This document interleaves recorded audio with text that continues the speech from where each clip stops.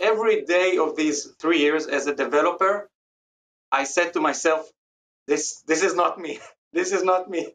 By the way, I knew it also during my studies. Okay, I wasn't the best student in, as, a, as an engineer and definitely not as a developer. Uh, eventually, I said, I, I'm a people person. I want to go out and meet people in my job, in my day-to-day job. I don't want to spend my time uh, debugging. It doesn't bring my, my full, uh, you know, self-expression.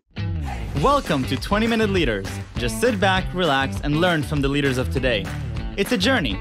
Each one is different, unique, inspiring. Let's get started.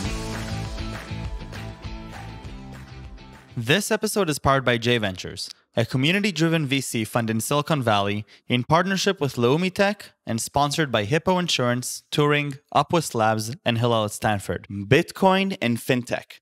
Meet Sagi Bakshi, the CEO of Coinmama.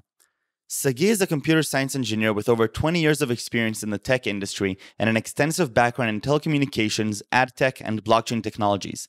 He joins Coinmama from tech unicorn ironSource, which recently announced their IPO intention with an estimated valuation of 6 to 8 billion dollars, where he was a member of the founding team and from 2011 to 2018 served as general manager of the company's biggest division.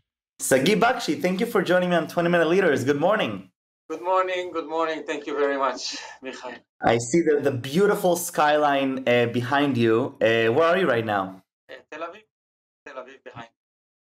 Of course, Sagi, your journey is uh, remarkable. It's it's uh, fascinating, and the reason why I'm I'm excited is because you know on the out from the outside looking into your journey, you're like, yes, of course, he it makes perfect sense what he did. But you know, just before we started recording this, you mentioned that you know one of the one of the themes that you're looking back on your journey is that you know sometimes you realize that you were doing things that you weren't meant to be doing and you weren't really enjoying or, weren't good fit for. So I'm, I'm excited to talk about those things and talk about your insights from your journey as well as bitcoin the the, the crypto revolution and and of course Coinmama so sagi take me all the way back as far as you want. Who is sagi bakshi and, and walk me a little bit through your journey?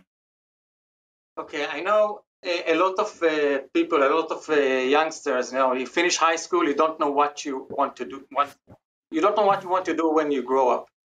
And the first junction of uh, the first big decision you, you, need to take is what what kind of what major to do in, in college in, in university.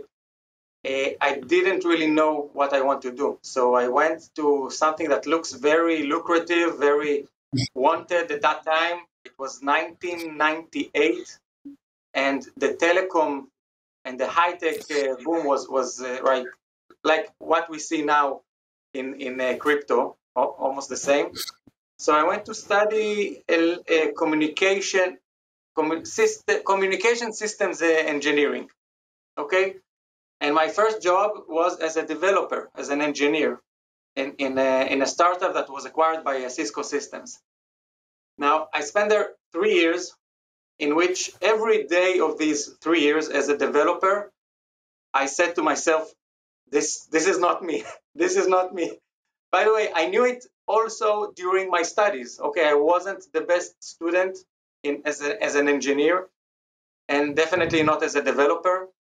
Uh, eventually, I said, I, I'm a people person. I want to go out and meet people in my job, in my day-to-day job. I don't want to spend my time uh, debugging.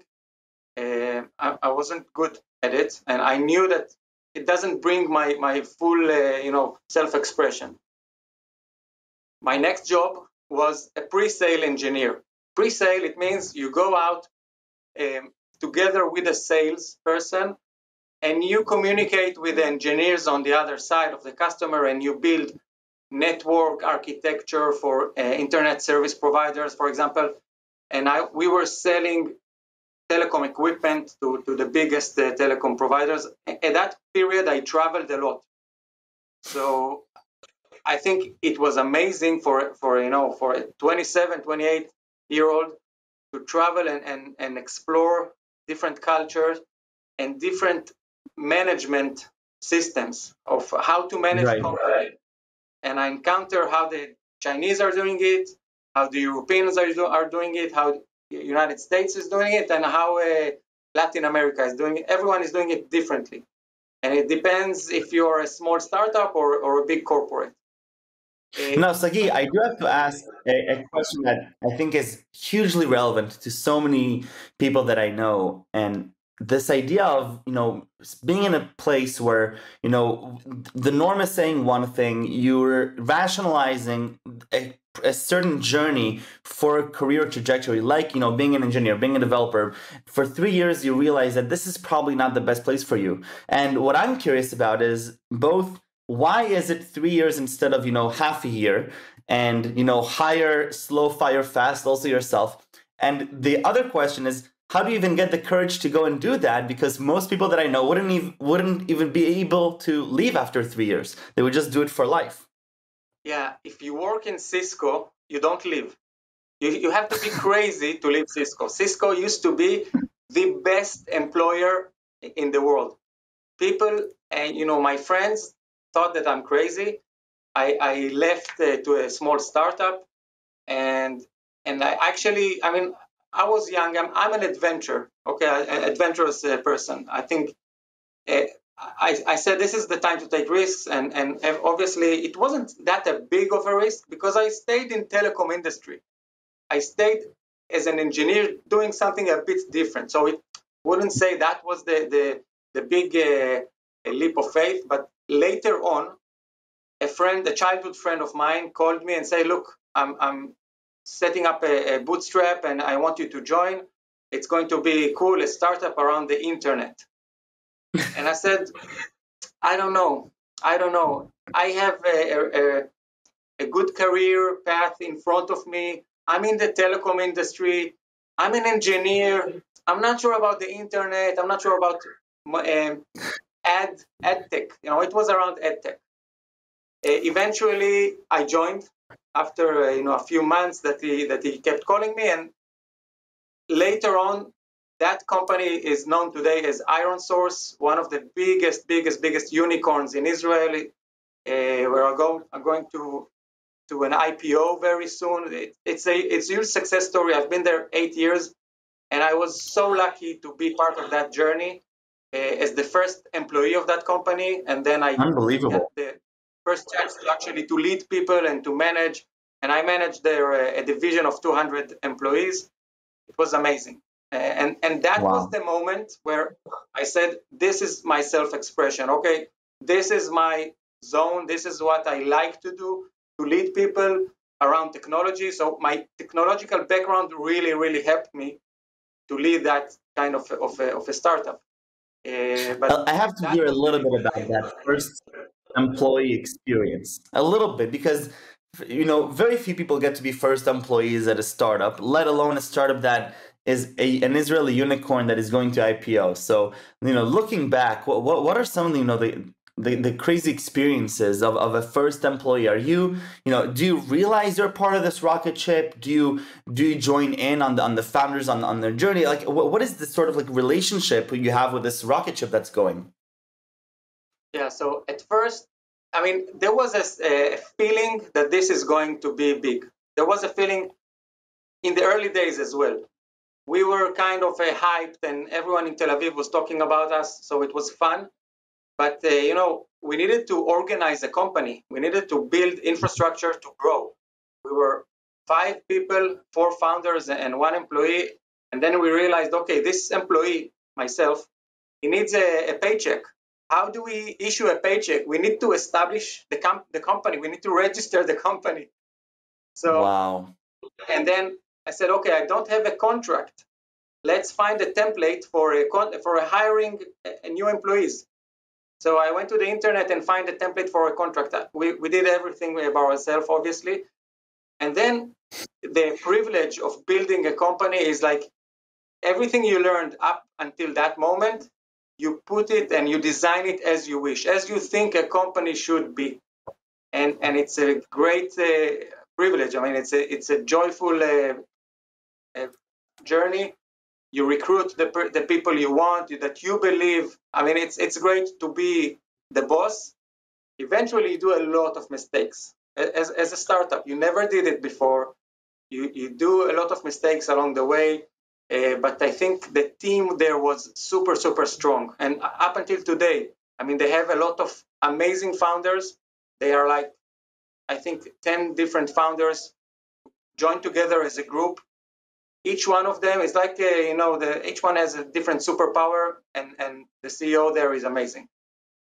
What, what did you learn most from watching the company and being a part of that growth all the way up to managing? You said 200 people. You're going from being a single employee to now being a general manager of the largest division and managing 200 people what, what did you have to learn along the way that looking back you're like wow like that's really really cool it's all about the people. I mean it's it's a very well-known phrase but it, it's actually you learn it in the hard way. It's all about the people. If you recruit carefully hire slowly and, and you do not compromise on the quality of the people that you uh, onboard to your team, you are doing something good. You can wait, I don't know, six months, 12 months to man a position and, and you don't compromise. Every wrong decision in hiring will cost the company a lot of money and time, and it will reflect poorly on the other team members. So right. hiring is, is one of the most important jobs of the CEO. The CEO needs to be part of hiring process. Obviously, you cannot do it uh, in a in an 800 employees 800 uh, employees uh, company, but up until the moment that you can, you should interview and should be part of the hiring process. Amazing. So Sagi, now you've moved a little bit from ad tech you're entering the the crazy world of, of crypto and cryptocurrencies and and I'd love to to first understand a little bit better the the, the Bitcoin revolution, the cryptocurrency revolution. What where are we in 2021? We've been hearing about this for a while. I've been, you know, seeing my friends almost having heart attacks every day that they're watching uh, their their uh, you know fraction of a Bitcoin go up and down dramatically. And and today you're also the CEO of Coinmama, and I'd love to hear a little bit about what that's about. So, so Sagi, please, you know, help me understand a little bit better what's happening with our world today. Okay, so Bitcoin uh, was established like, like it was a test. It was a, an experiment of a cryptographer, anonymous cryptographer, cryptographer called uh, Satoshi Nakamoto. He issued a white paper, and that brilliant nine pages white paper is about to change the world. Okay, it's about to change everything in our way of how do we transfer value to each other and how do we interact. And he actually solved a very, very difficult and hundreds of years of a, of a, of a problem, algorithmic problem, uh, to how to create trust between several parties that do not trust each other. I mean, right. in order to transfer money or value from me to you, we need to trust someone. So up until today, we trusted a third party called a bank. Uh, or if you do it on a Venmo or something like that, you trust Venmo, which trusts the bank. A lot of entities involved in this process. Satoshi actually created the first chain, the first network that people can store value and transfer value to each other solely depending on algorithms. Okay, and that, these are transparent algorithms. Everyone knows what is going on on the blockchain. Everyone can understand. So we totally believe that this technology is about to change the world. I, don't think we've experienced it yet. Okay, uh, everyone is talking about Bitcoin. Some people are dabbling uh, with the idea of uh, buying a little bit, but we, it didn't start yet. Okay, it's it's a it's a technology shift. It's a mindset shift people trust uh, today, they think they trust their governments, their banks, uh, but it will take time for them to understand that there is a new way to store value. Mm-hmm. So it's I think it's the first time in history that you can actually own something without having to protect it with guns or with big fences. Okay? Right. You can store your entire family wealth in your head by memorizing 12 words of, of the seed phrase. Okay? And you can carry your family wealth, your generation wealth in your head, traveling around the world, memorizing 12 words. That's it. and then you can pass borders, and then you can escape any tyranny, any dictatorships, any checkpoints in borders. If you're a refugee, you can send money to your families. Uh, you know, in, in remittance uh, transactions that today cost 10% or 11% right. when, when you're a Philippine employee who wants to send uh, money back to your family. So many use cases, and, and, and Bitcoin is, is totally aligned with the human rights movement that will allow more freedom and more more self sovereignty to, to to the unbanked people. There are around two billion people around the world that don't have any access to bank services. Wow. All you need is a all you need is a smartphone, and it's probably going to be so, much faster for them to get an internet connection than for them to have another branch of their local bank coming to their to their rural area, right? Yeah, for example, in Africa, with I mean, there's the whole notion of skipping the the laptop. Okay, laptop is too expensive.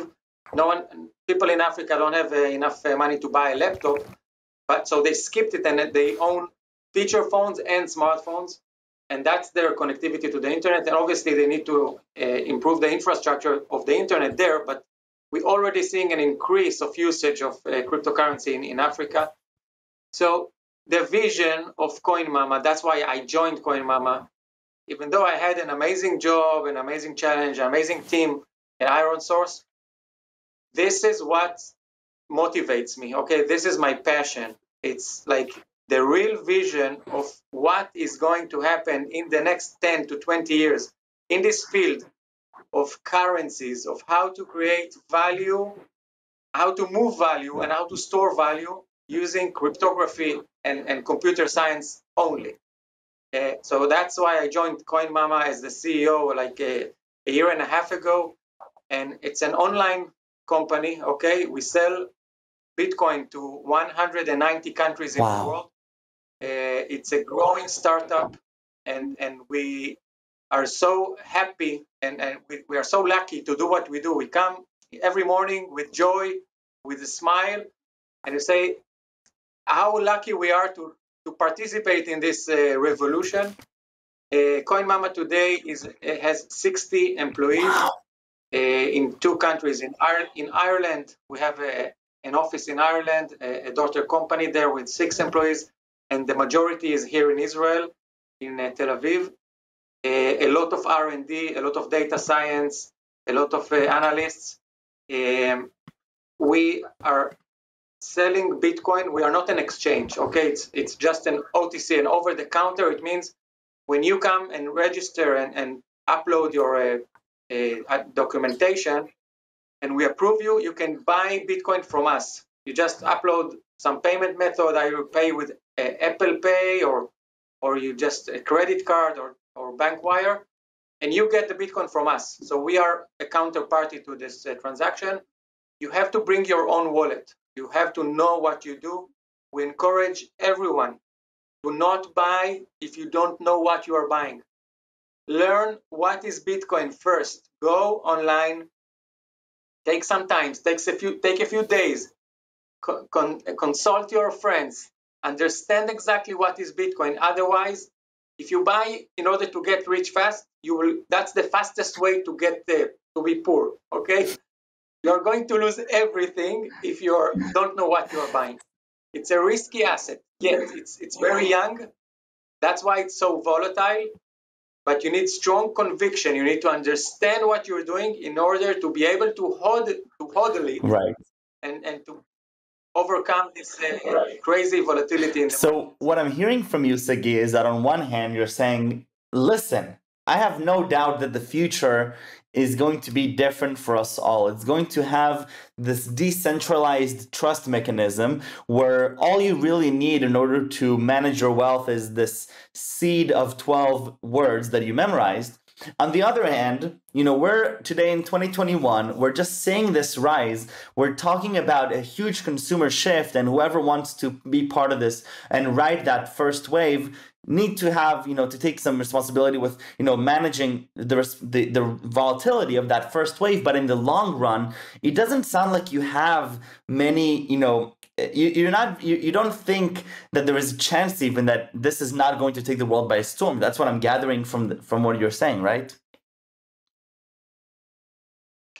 Not a mm. chance. Not a chance. Now, obviously, in 1995 or 1996, like after uh, uh, Jeff Bezos said, "I'm going to sell books online." Right. So people said, "Are you who is going to put credit card details online on the internet?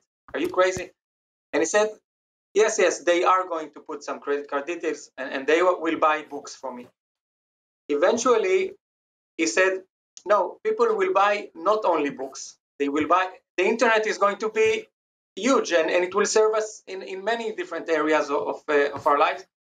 And that was 1997, 1998. And that's when you need true vision for 20 right. years. So this is where we are today, 25 years after uh, the first idea, more or less, of, uh, of Jeff Bezos. And, and only if you stick to the vision, if you're true, a true believer, you can make this kind of uh, revolutions. And, and and the world needs this revolution. The world needs a better a stable a better way to transfer value. We cannot trust our government currency. I i, I can say that in our in my own country i can understand people in the united states who are saying it. I can understand people in the european union saying it. Uh, every government uh, tends to fail uh, their economy every tens, a few tens of right, years. Right. So you need an internet Sagi, uh, the one thing that I'm leaving here with certainty is that I need to go do a lot more research because I think that I, I, you know, I, I undervalued, and I think that a lot of the people that I talk to, I was wealthy, you know, we look at Bitcoin as this interesting asset to to trade with today, but what you're referring to is just a, a much much bigger consumer shift in in you know in in communities that I'm not I wasn't even thinking of. I wasn't even thinking of of how, you know, this decentralized system is going to impact the 2 billion people that aren't connected to the financial grid today. And you're looking at uh, and you know, I can definitely start, you know, seeing the seeds of, of how this is completely going to revolutionize, you know, every industry, not just this, not just the financial. So thank you for opening my mind to that, and and I have my homework cut out for me. Before we leave, Sagi, I have to ask the most important question, which is three words that you would use to describe yourself. Okay, so I'm a social animal. I I am adventurous and I'm a dad. I love that. I think that's Sagi. That's, that's the love in my heart is, is for my Sagi, thank you very, very much. Best of luck with Coinmama. Thank you for sharing with me your journey all the way from from you know being an engineer, realizing that you're probably not go- you're not trying or not going to be the best engineer in the room. Nevertheless, going to become the first employee of ironSource, one of the Israel's biggest prides, to now joining Coinmama and being a part of what seems to be an inevitable and awesome revolution. So uh, thank you for the positive impact you're making, and thank you for spending your time with me here. Sure. Thanks a lot. Take care. Thank you.